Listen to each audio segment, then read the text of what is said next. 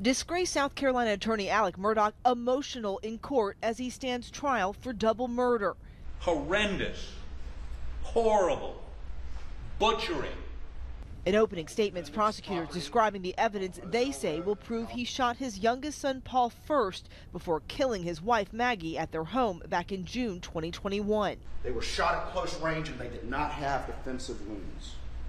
Prosecutors laying out a case where cell phone data and videos sent on Snapchat will play a major role, claiming the evidence puts Alex at the scene of the crime.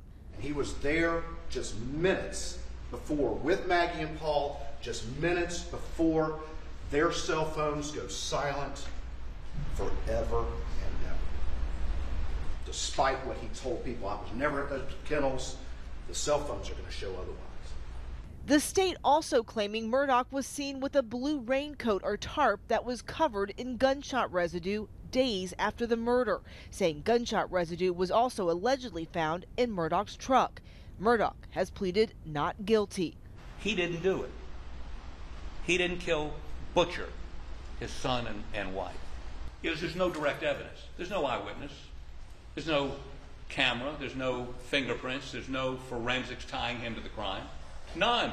The defense argues a man who loved his family like Murdaugh did could never kill them. Now stand up. Alex was the loving father of Paul and the loving husband of Maggie. You're not going to hear a single witness say that their relationship were anything other than loving. Alex's two brothers, sister, and surviving son Buster there, sitting behind him. His fate rests in the hands of 12 jurors four white men, six white women, and two black women.